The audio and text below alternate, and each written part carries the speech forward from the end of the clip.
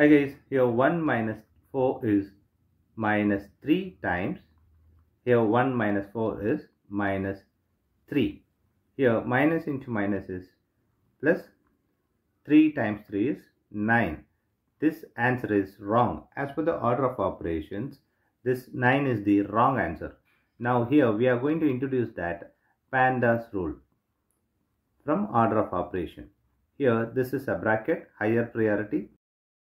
M stands for multiplication, D stands for division, A stands for addition, S stands for subtraction. Here multiplication divisions are equal priority. Also this addition subtractions are equal priority.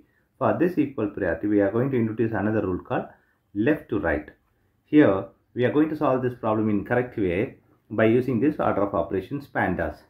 As per this PEMDAS, this bracket is higher priority. So we have to do this before any other action. So 1 minus 4 times this is negative 3. Now we have subtraction and multiplication. Multiplication is higher priority than this subtraction. So we have to do this before this subtraction. So 1 minus this negative times negative is positive. So here it is 12. 4 times 3 is 12.